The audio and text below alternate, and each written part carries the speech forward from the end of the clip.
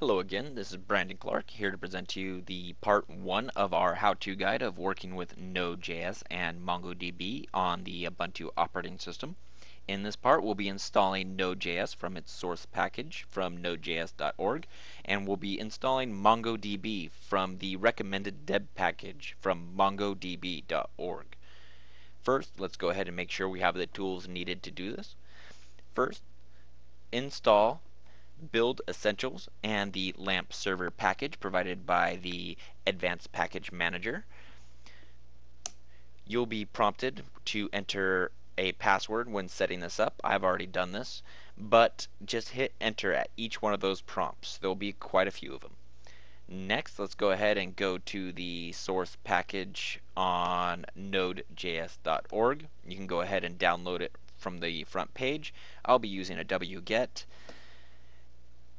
you do not want to install the bit version.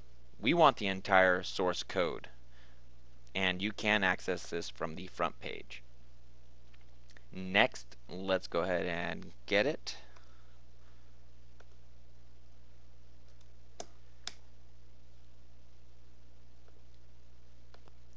Next, we want to uncompress the package we just downloaded and then we want to go ahead and enter the directory which we installed it. From there we want to configure the package to work with our operating system and then we want to make the package.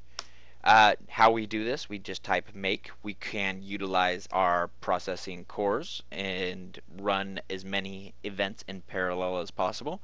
I'm going to go ahead and use 4, but if you leave it at J, your system will automatically figure out how many it can use by itself.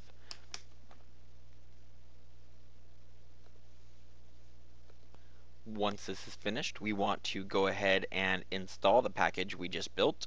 So we do this by becoming a root user.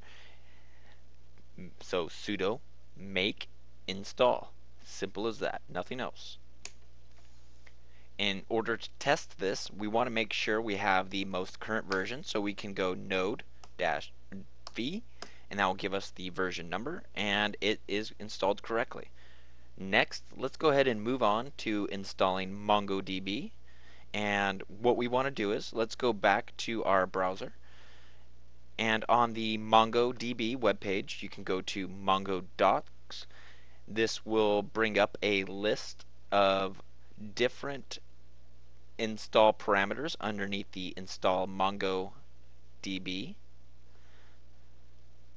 Now we want to go ahead and use the Ubuntu package.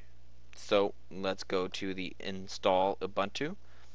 And it says right here that the advanced package manager from Ubuntu doesn't always have the most up-to-date MongoDB source. So if we do it this way, we will always have the latest deb file and we would follow these follow instructions. We want to install a key server for our apt-get repository or advanced package manager and then we want to go ahead and update it so we do install it through the advanced package manager.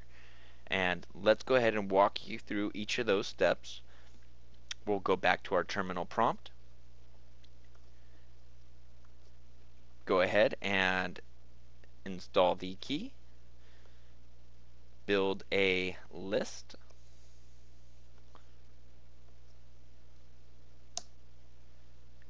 each one of these commands is provided to you on the MongoDB webpage, so if I'm going too quick, just go ahead and refer to that source.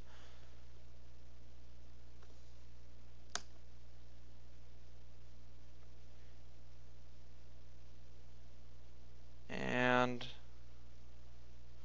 oh, we want to update before we install.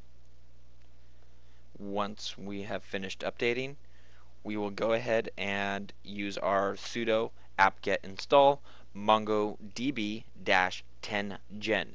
This is the package provided by mongodb.org.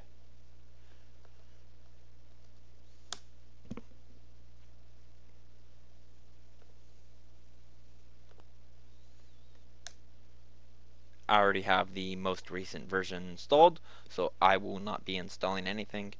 Next, we can go ahead and make sure it works by going Mongo. And there you go, you have the latest shell prompt of 2.45 running on your system. Just hit Control C to exit out, and that is it. I will see you in the next tutorial.